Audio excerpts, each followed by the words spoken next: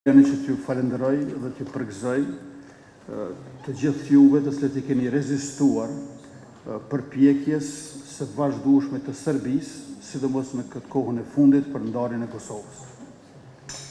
Duke ju falënderuar secilit prej juve dhe të gjithë prej juve, po edhe shumë të tjerëve që nuk janë këtu, mund të themi që projekti i Serbisë për ndarjen e Kosovës ka dështuar, ndonëse ideja nuk ka vdekur.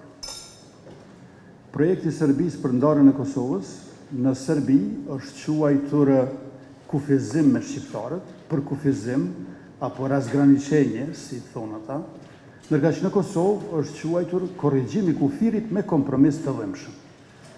Kemi pasur dy emërtime për të njëjtën gjë, por emërtimet e reja janë gjëra të vjetra.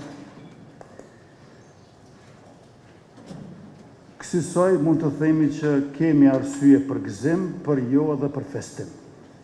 Pra gëzim pa festë, sepse vetëm projekti ka dështuar e ideja ende nuk ka vdekur. Më gjashtë korrik në muajin e ardhshëm bëhen dy vite të letrës së ish kryenegociatores, zonjës Edita Tahiri, dërguar zonjës Mogherini, me ç'rast unë po e lexoj një paragraf të kësaj letre. Gjashtë korrik dy mijë e shtatëmbëdhjetë. Serbia gjithashtu u përpoq të luante disa skenarë të natyrës gjeopolitike, duke promovuar idetë e ndryshimit të kufijve në rajon dhe këmbimin e territoreve, të cilat dukej se ishin ndikuar nga Rusia dhe ambiciet e saj për të rikthyer ndikimin e saj të humbur pas përfundimit të Luftës së Ftohtë. Këto janë skenarë mjaft të rrezikshëm, të cilët kundërshtohen nga Kosova dhe vendet e tjera të Ballkanit Perëndimor, duke qenë se pozicioni ynë i përbashkët strategjik është rreshtimi me botën perëndimore dhe me komunitetin euro-atlantik. Ne me të drejtë e kemi kundërshtuar ish-kryenegociatoren Edita Tahiri, por është për t'u vlerësuar ky testament i saj politik. Sa i përket bashkimit të Preshevës, Medvegjës dhe Bujanocit me Kosovën, unë besoj që edhe ju e ndani mendimin se pengesa për këtë është në Beograd, jo në Prishtinë.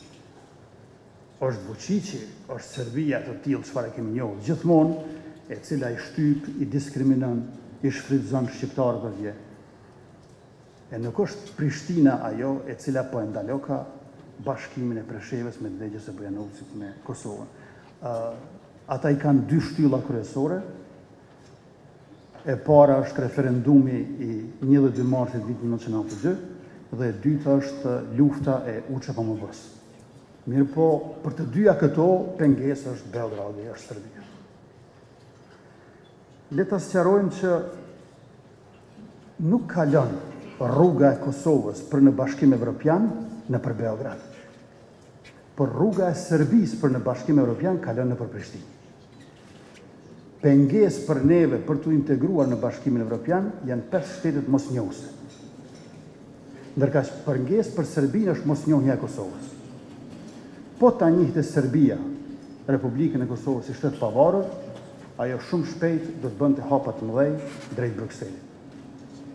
Serbisë po i ngutet, Serbisë i nevojitet marrëveshja për integrim në BE, ndërkaq neve na nevojitet njohja e pesë shteteve që ende s'e kanë bërë këtë.